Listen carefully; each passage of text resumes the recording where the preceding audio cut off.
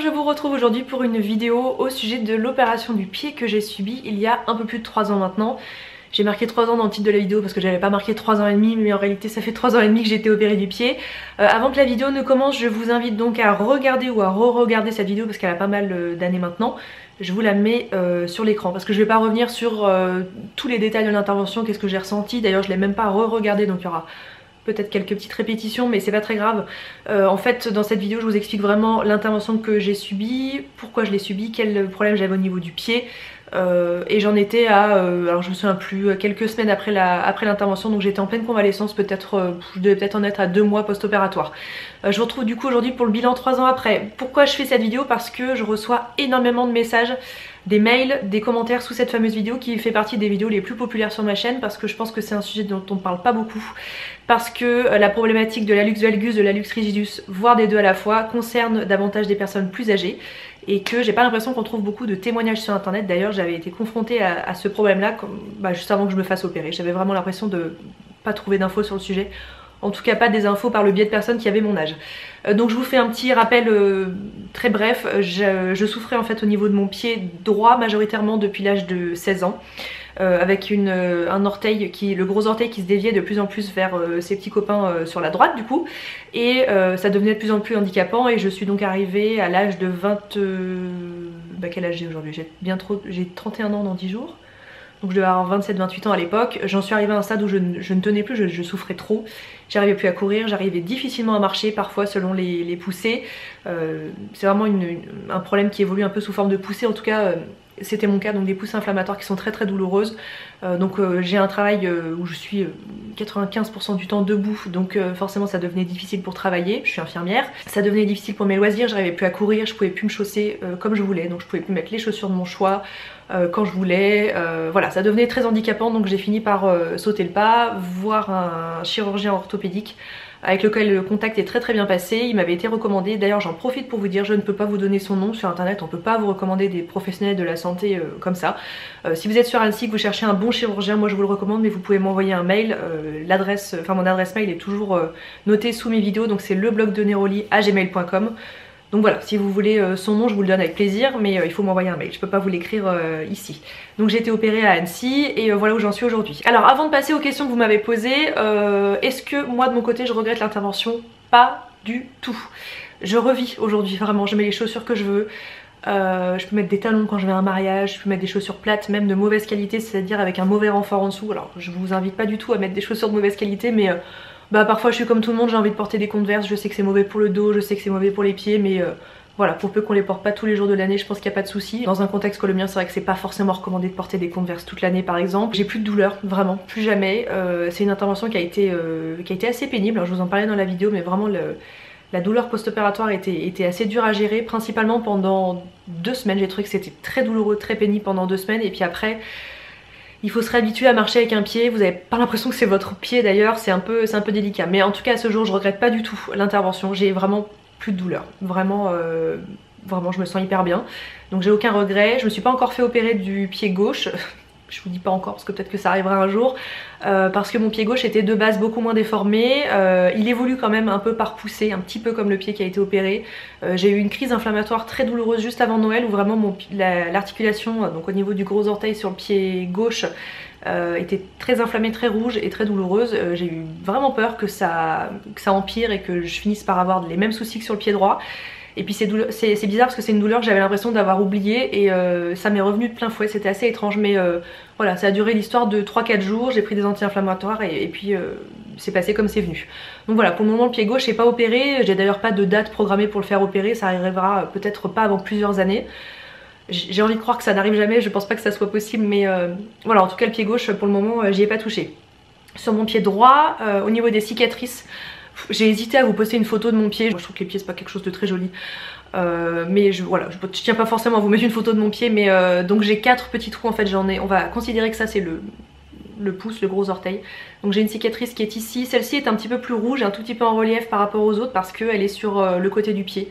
Donc je pense que c'est pour ça qu'elle a eu un petit peu de mal à se... La peau a eu peut-être un peu de mal à se refaire mais globalement si vous regardez mon pied d'un coup d'œil vous pouvez pas voir que j'ai été opérée. Et les trois petits trous qu'on voit ici à la base de mes orteils sont vraiment de la couleur de ma peau. Alors j'ai fait très attention à mes cicatrices en post-opératoire. De toute façon j'avais été opérée en septembre donc euh, j'ai pas exposé mon pied avant euh, l'été d'après dans les sandales ou autre. Mais j'ai toujours fait très attention à mettre de la crème solaire, voire mettre un pansement sur mon pied pour être sûr que mes cicatrices euh, ne prennent pas une couleur bizarre avec le soleil. Le, soleil et les cicatrices ça fait vraiment pas bon ménage. Donc les trois qui sont ici, je les regarde en même temps que je vous parle mais elles sont couleur peau et on voit une certaine je sais pas comment expliquer mais on dirait que la peau est un tout petit peu plus brillante au niveau des, trois incisions euh, franchement ça se remarque pas et moi je j'y fais même plus attention mon pied euh, a repris une forme euh, normale donc je vous le rappelle hein, moi j'avais vraiment le gros orteil qui venait chevaucher les, orteils d'à côté donc j'avais ces orteils d'à côté surtout les deux du milieu qui étaient vraiment en griffe donc eux ils ont repris une forme tout à fait normale donc ça c'est Vraiment, je pensais pas retrouver un pied de cette forme-là un jour. Donc ça c'est hyper agréable. Euh, donc j'ai plus du tout l'impression d'avoir mes orteils qui se mettent en griffe dans mes chaussures et la déviation du gros orteil n'a pas repris. Le gros orteil n'a pas repris sa place sur les orteils d'à côté comme avant l'intervention donc ça c'est top.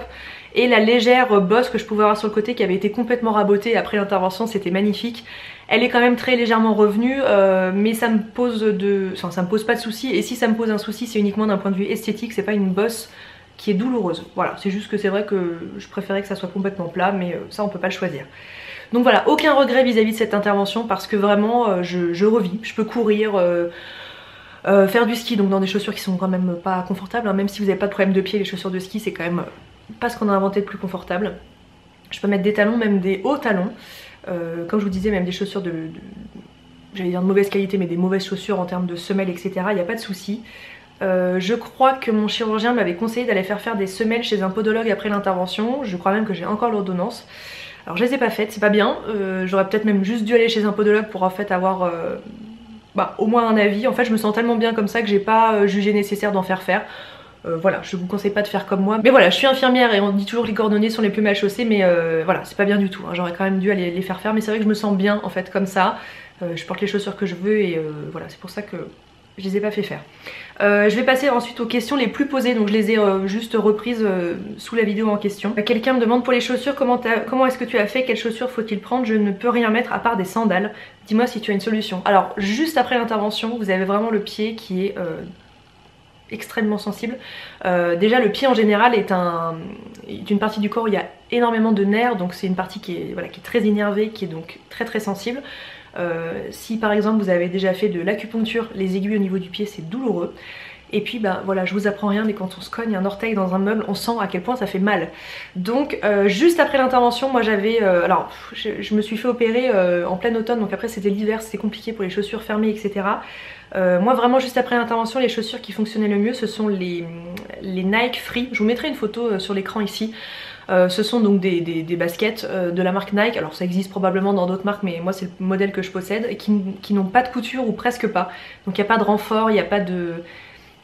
il n'y a, pas, a pas de couture, il n'y a pas de structure dans la chaussure, donc ce sont des chaussures toutes molles et la semelle est très très souple. Donc ça ce sont les chaussures que j'ai le plus portées euh, juste après l'opération et ça a été très efficace sur moi. Au niveau de mon travail, j'ai eu du mal à remettre, j'ai vraiment des crocs toutes simples pour le travail, j'ai pas réussi en fait à les remettre euh, tout de suite. Donc en fait je mettais ces chaussures euh, Nike. Alors j'étais bien sûr pas euh, au bloc opératoire ou en salle de réveil en Nike. Et du coup je mettais des surchaussures donc vraiment des surchaussures en papier antidérapantes par dessus que ma clinique fournit pour, pour les personnes qui souhaitent garder des chaussures de ce style là pour travailler. Bien sûr si vous vous faites opérer juste avant l'été ça sera plus simple. Vous pouvez mettre des sandales, des chaussures ouvertes, mais en hiver c'est assez compliqué. Je me souviens aussi d'une période où j'avais du mal à passer une chaussette sur mon pied. Donc j'avais carrément deux paires de chaussettes que j'avais sacrifiées. En fait, j'avais coupé l'élastique euh, à la cheville parce que j'arrivais pas à les passer sur mon pied. Je crois que c'est la même personne qui me dit je me suis fait opérer d'un alux valgus, ça fait trois mois que je suis en arrêt. Euh, mon pied est encore enflé, je n'arrive pas à mettre de chaussures. Est-ce que c'est normal? Je ne vois pas de différence euh, avec l'avant-après. Alors l'avant-après, il est, il, est, il est difficile à, visualiser parce qu'en fait votre pied va être très très très gonflé pendant très longtemps. Alors ça, ça dépend des interventions bien sûr, mais moi mon chirurgien m'avait dit votre pied va être gonflé, mais vraiment gonflé comme un ballon de baudruche pendant un an, voire un an et demi après l'opération. Sur le coup j'ai trouvé bizarre, je ne sais pas que j'y croyais pas mais je trouvais ça vraiment très étrange et c'est vrai. Euh, je me souviens être partie en voyage à New York au mois de mai, donc j'avais été opérée en septembre, donc vous voyez c'était quand même passé pas mal de temps. Alors j'ai eu aucun souci pour marcher 15-20 euh, km tous les jours dans la ville pendant 10 jours. Parfois le soir j'avais le pied un peu échauffé mais très franchement on aurait pu imaginer pire. En revanche mon pied était extrêmement gonflé le soir quand je rentrais à la maison.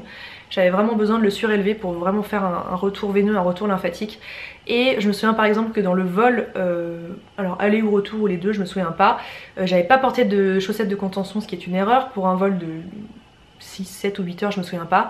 Et euh, j'avais enlevé mes chaussures dans l'avion, j'étais en chaussettes et j'avais eu du mal à remettre ma chaussure droite à la fin du vol. Donc voilà, ça c'est pas un mystère, c'est vraiment, c'est pas un mensonge non plus. le pied va rester très très œdémacié pendant pas mal de temps, donc voilà, faut pas s'étonner, mais c'est assez, euh, assez surprenant. Et la même personne me dit, je ne sais pas si j'arriverai à retravailler, je reprends le travail en mai. Euh, moi, j'ai été arrêtée 3 mois. C'était l'arrêt de travail qui était prescrit par mon chirurgien. J'ai repris le travail, euh, donc au bout de ces 3 mois, c'était vraiment tout juste, surtout que je me souviens avoir repris sur une semaine de travail qui était très difficile. voilà, pour rappel, moi j'ai un travail où je suis 95% debout, donc c'était compliqué aussi. pour mon chirurgien, c'était un poil tôt pour reprendre le travail. Mais il y avait un peu un contexte compliqué euh, dans la clinique dans laquelle je travaille et du coup euh, j'ai préféré reprendre à ce moment-là parce que ça devenait difficile pour mes collègues, on avait du mal à me remplacer. Euh, mais voilà, selon moi j'ai repris quand même on va dire 10-15 jours un tout petit peu trop tôt. Euh, je me souviens avoir souffert quand même pendant voilà, bien deux semaines, euh, mais euh, voilà, une fois que ces deux semaines étaient passées, j'ai eu aucun souci pour reprendre le travail. Une personne me dit je vais me faire opérer, je suis terrorisée, j'en fais des cauchemars régulièrement, j'ai si peur de souffrir le martyr, vous voir parler de manière calme et posée me rassure. Alors ça dépend du style d'intervention, je vous en ai parlé dans la première vidéo, mais voilà, moi j'ai eu une microchirurgie à base de quatre petits trous qui ont été faits dans les différentes articulations. On m'a enlevé un morceau d'os mais j'ai pas eu de pose de matériel, de vis ou quoi que ce soit. Euh, donc voilà, comme je vous avais dit dans la première vidéo, à chaque, euh, on, peut tous souffrir du même problème, c'est-à-dire des douleurs dans le pied avec une articulation qui se dévie, mais pour plein de causes différentes. Personne n'aura la même intervention parce que bien sûr les chirurgiens s'adaptent en fonction de votre cas, donc je peux pas vous dire que vous ressentirez la même chose que moi, mais euh, je vais pas vous mentir, j'ai eu très mal, vraiment j'ai eu très très mal en post-opératoire. Ça a été pénible, j'ai pas beaucoup de référentiels de douleurs dans ma vie à part bah, cette opération, mon accouchement, d'ailleurs à l'époque oui j'avais pas ma fille, euh, c'est vraiment difficile à comparer mais je trouve que la douleur orthopédique, c'est-à-dire celle qui est liée aux os, est extrêmement pénible. Elle est lancinante. Euh, c'est une douleur que je trouve abrutissante vraiment parce que euh, vous avez vraiment l'impression qu'on vous cogne avec un marteau sur les os et c'est... voilà. Donc je, veux pas être rassurante de ce côté là à base de non non mais tu vas rien sentir, ça fait pas mal parce que c'est pas vrai. Je pense qu'il vaut mieux se préparer à avoir mal et c'est comme ça que ça se passera le mieux. Euh, on va de toute façon vous prescrire des antalgiques euh, bien costauds derrière l'intervention donc ça faut les prendre. Moi je suis à nouveau infirmière mais je suis anti-médicaments. je suis pas anti-médicaments pour mes patients bien sûr parce que j'en injecte toute la journée et puis pas n'importe quoi. Mais pour moi, euh, moi quand je prends un dafalgan, c'est vraiment que je suis en mode migraine de l'espace. Je prends très très peu de traitements au quotidien. Et là j'ai fait l'effort de les prendre régulièrement, vraiment à heure fixe. Il n'y a que comme ça que ça fonctionne. Et euh, c'est à partir du moment où j'ai vraiment pris les, traitements de façon régulière que ça allait mieux. Et après, le temps fait son travail. Mais euh, voilà, pour moi, c'est une intervention qui reste douloureuse et je pense qu'il faut s'y préparer. Euh, quelqu'un me demande le problème peut-il être traité sans opération? Bah, Franchement, Joker, je peux pas vous dire. je sais que pour certaines personnes, on peut ralentir l'évolution de la maladie avec bah, notamment des semelles adaptées. mais je sais pas dans quel cas ça fonctionne, ça répond peut-être que à certaines situations, certaines formes de, de déviation de l'articulation. Donc ça je peux pas répondre avec précision mais euh, la meilleure solution pour avoir une réponse c'est de consulter euh, quelqu'un du métier, donc un chirurgien orthopédique. Euh, une personne me dit je vois que pour toi tout s'est bien passé, je ne sais pas si j'arriverai à sauter le pas, j'ai peur de ne plus avoir le choix un jour. Pour l'instant je retarde et j'essaye de trouver des, alternatives naturelles.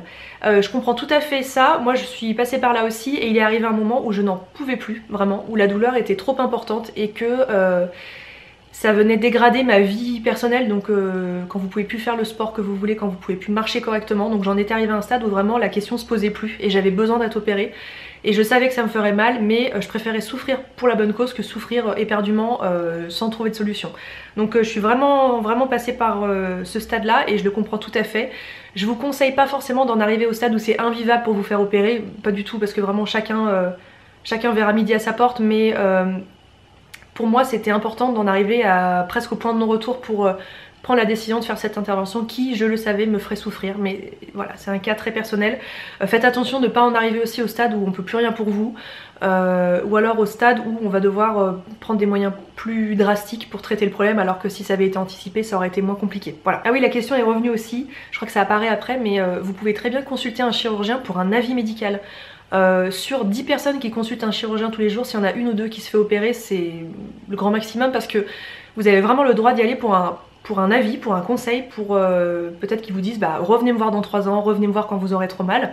Euh, rien ne vous engage quand vous allez voir un médecin. Donc euh, voilà, faut pas hésiter selon moi à aller bah, se renseigner sur quel type de chirurgie existe, quand est-ce qu'il faut s'y prendre, etc. Ensuite une autre question qui venait, en gros au, bout de combien de temps as-tu vraiment bien récupéré Moi j'ai commencé à retrouver des sensations normales, c'est-à-dire pas des douleurs incroyables, la possibilité de marcher beaucoup beaucoup.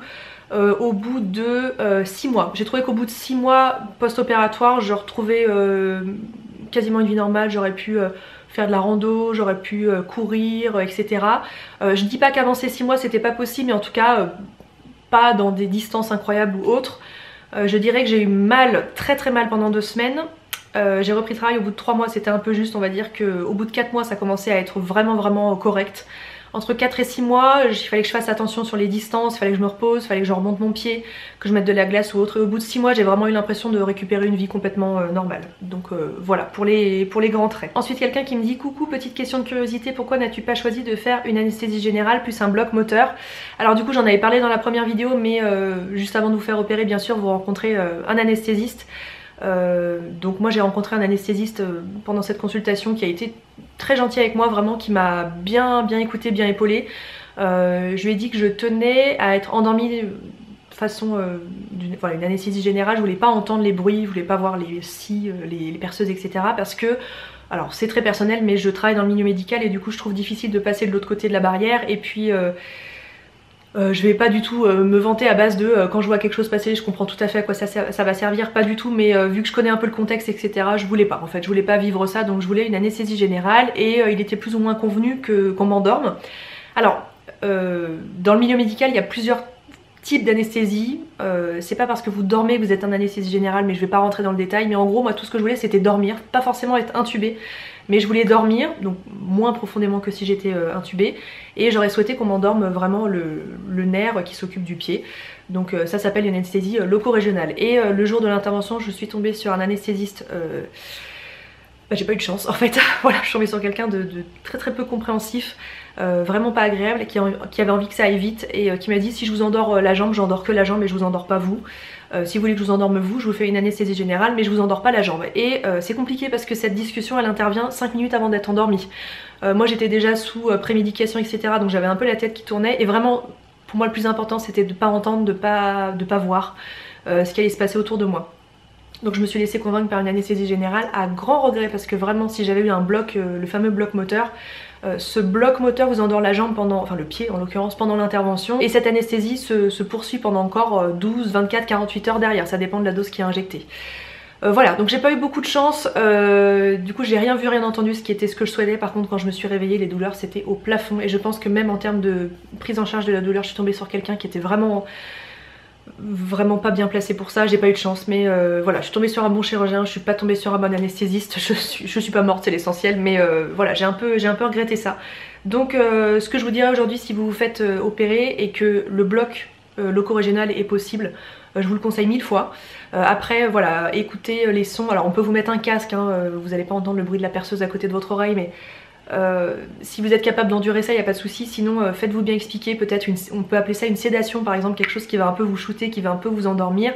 Mais vous ne serez pas forcément intubé. Mais voilà, faites-vous bien euh, expliquer ça. Une autre personne me dit As-tu des conseils à me donner en plus de tous ceux dans ta vidéo? Mes conseils, je vous dirais rencontrer autant de personnes qu'il faut. jusqu'à ce que vous soyez en face d'un praticien qui comprend votre problème et avec lequel vous êtes en confiance. Euh, vous confiez quand même une partie de votre corps qui est hyper importante, je veux dire le pied, vous allez marcher dessus toute votre vie, donc euh, si vous vous sentez pas à confiance, fuyez. Euh, il faut vraiment tomber sur quelqu'un qui a cerné le problème, avec lequel vous vous sentez bien. Moi je suis tombée sur ce chirurgien du premier coup, donc j'ai eu beaucoup de chance. Il m'avait été beaucoup recommandé d'ailleurs par d'autres personnes, mais j'ai une collègue par exemple qui souffre du même souci. Alors, enfin, pas le même problème à la base parce qu'en plus elle a 20 ans de plus que moi, donc les choses sont très différentes, mais elle a rencontré un premier chirurgien avec lequel elle a eu vraiment un, mauvais feeling et du coup je l'ai orienté vers le mien. Elle l'a pas encore vu mais euh, j'espère qu'elle aura peut-être un meilleur ressenti avec lui. Donc voilà, euh, je vous conseille de consulter jusqu'à ce que vous trouviez quelqu'un qui, colle avec euh, ce que vous recherchez. Ensuite, moi je vous conseillerais tout de même de vous faire opérer, bah, pas en été déjà. En été il fait chaud, les, membres, les mains, les pieds, etc. ont tendance à gonfler donc je pense que ça rend la convalescence compliquée. Euh, en hiver vous avez d'autres soucis hein, parce que moi par exemple il y a une partie de, l'hiver où j'ai pas pu sortir chez moi parce que j'étais en béquille, il y avait de la neige et du gel dehors donc je ne pouvais pas sortir chez moi donc c'est un autre problème. Pareil pour mettre des chaussures, des chaussettes, tout ça c'est difficile mais euh, voilà choisissez le bon créneau de l'année pour euh, vous faire opérer. Bien sûr si ça vous arrange d'un point de vue personnel ou si au niveau de votre travail il est mieux de vous faire opérer l'été, bah, faites-le mais anticipez bien bah, la cicatrisation euh, si vous avez des projets par la suite, euh, voilà, je sais que moi par exemple, un temps que j'ai ma fille qui a, qui a deux ans, euh, si je devais me faire opérer de l'autre pied, bah, il faudrait que j'anticipe quelqu'un pour la garder les premières semaines parce que j'aurais pas le droit de sortir de chez moi, etc. voilà, par exemple, j'y vais à l'époque en rez-de-jardin, ce qui était très pratique parce que j'étais en béquille et que j'avais pas le droit à l'appui pendant deux semaines. si vous êtes dans une maison à étage, pareil, est-ce que ça vaut pas le coup d'aller emménager chez quelqu'un pour une période donnée, pour être tout de plein pied ou alors avec un ascenseur ou autre? Voilà, un petit peu d'anticipation, à mon avis, ça fait pas de mal. Euh, quelqu'un d'autre qui me dit à quel âge est-ce que je peux avoir l'opération? Donc moi je vous parle vraiment dans mon cas personnel, j'avais euh, consulté un chirurgien quand j'avais 16 ans. Euh, pour lui c'était trop tôt, peut-être aussi parce que les choses, étaient, les choses étaient très différentes à l'époque, je m'en souviens pas, mon pied était peut-être beaucoup moins déformé. pareil, la seule personne qui pourra vous donner une réponse c'est quelqu'un du métier, donc je peux pas vous dire avant 16 ans c'est pas possible, après 16 ans c'est bon. Dans mon cas personnel à 16 ans c'était pas possible. Et j'ai vraiment attendu de plus en pouvoir pour me faire opérer, mais voilà, je peux pas donner une réponse précise. Euh, une autre personne me demande est-ce que tu avais des piqûres pour ne pas avoir de phlébite? Alors euh, les phlébites, si vous ne savez pas ce que c'est, euh, c'est la formation d'un caillot de sang dans les membres, dans les veines, dans les membres inférieurs à cause d'un alitement ou en tout cas d'un repos prolongé. le retour veineux se fait mal et vous pouvez donc avoir des caillots qui se forment dans les membres inférieurs. Le risque c'est que le caillot migre au niveau de la circulation pulmonaire et donc que vous fassiez une embolie pulmonaire, voire que ça monte jusqu'au cerveau et que vous fassiez un AVC et donc ça c'est très très grave. Euh, donc ces piqûres on les fait aux gens qui sont euh, qui viennent d'être opérés, qui sont donc en alité ou au repos forcé chez eux. Donc moi je répondais bien sûr à tous ces critères là. Le problème que j'avais eu c'est que les, les, fractures qui avaient été créées au niveau de mon pied euh, risquaient de provoquer un très fort saignement derrière rien qu'en elle-même. Donc si on me rajoutait par-dessus ça des piqûres pour venir fluidifier mon sang, j'aurais vraiment eu un hématome très très important dans le pied et mon chirurgien voulait à tout prix éviter ça. Donc non, dans mon cas particulier, je n'ai pas eu d'injection euh, anticoagulante derrière l'intervention, mais pareil, c'est vraiment du cas par cas. Euh, par exemple, quand j'ai accouché, j'ai eu une césarienne et donc j'ai eu ces fameuses injections euh, par la suite, mais après une, chirurgie, après une chirurgie orthopédique, en tout cas, c'est pas systématique, j'en suis la preuve vivante. Ensuite, quelqu'un me pose une question sur les risques de récidive. Est-ce que je sais si ça va récidiver? Est-ce que je vois mon pied se redéformer à nouveau ou est-ce que je sais par avance que je vais me faire opérer plusieurs fois dans ma vie Alors moi dans mon fort intérieur je suis persuadée que je vais devoir me faire opérer au moins une autre fois. J'ai du mal à croire que mon pied garde cette forme là, j'aimerais bien hein, mais j'ai du mal à y croire. Donc je pense que ça arrivera un jour, je peux pas du tout prévoir quand. Euh, est-ce que je vais être opérée du pied gauche? Bah si je finis par avoir ces poussées qui reviennent comme j'ai pu avoir cet hiver, je vais probablement finir par y passer. À ce jour, euh, mon pied gauche est dans un bien bien meilleur état qu'il y a 3 ans quand j'ai été opérée du pied droit donc euh, pour le moment j'envisage même pas l'intervention, j'y pense pas mais peut-être que ça arrivera. Euh, en tout cas oui des récidives derrière il y en a c'est sûr, surtout qu'avec l'intervention que j'ai eue elles sont plus fréquentes parce que mon articulation n'a pas été fixée avec des plaques ou des vis. On a juste remis mon pied d'aplomb en lui redonnant une forme plus harmonieuse au niveau de, de l'articulation euh, des orteils à la base, donc au niveau des métatarses. Euh, donc j'ai le risque bien sûr vu que j'ai pas eu une fixation pure et dure avec des vis que ça revienne, mais euh, je peux pas savoir quand. Une autre personne me dit quelles sont les démarches pour l'opération, faut-il se faire prescrire une consultation par médecin traitant? Donc oui, le circuit classique c'est de voir votre médecin traitant, de lui en parler pour qu'il vous fasse une ordonnance pour que vous puissiez la présenter ensuite à un chirurgien orthopédique. Est-ce qu'on peut contacter directement le chirurgien? Je ne crois pas, je pense qu'il faut vraiment avoir un courrier du médecin traitant à la base. Euh, est-ce que l'intervention est prise en charge par la sécu? Oui, si elle répond à un problème médical, si vraiment vous êtes handicapé au quotidien pour, euh, pour marcher, pour faire du sport ou autre. Euh, si c'est uniquement une déformation du pied qui esthétiquement vous déplaît, il n'y aura pas de prise en charge, mais si c'est un problème médical, bien sûr, c'est pris en charge par la sécurité sociale. Ben voilà, j'ai fait le tour des questions qui m'avaient été posées euh, sous cette vidéo et qui sont donc revenues euh, plusieurs fois. Alors du coup, il y en a peut-être d'autres que j'ai oubliées, donc je vous invite à me les poser en commentaire. Et puis si vous regardez cette vidéo, je vous invite également du coup à regarder les commentaires parce que je vais probablement euh, répondre à, plusieurs de ces interrogations. Donc voilà, vous l'avez compris, moi aujourd'hui je regrette pas du tout de m'être fait opérer. Voilà, je regrette pas du tout d'avoir franchi le pas, même si la convalescence juste après l'intervention a été douloureuse. Euh, vraiment j'ai aucun regret parce qu'aujourd'hui je, revis. Voilà, j'ai aucun souci dans ma vie de tous les jours à part ces petites poussées vraiment euh, inflammatoires qui peuvent arriver.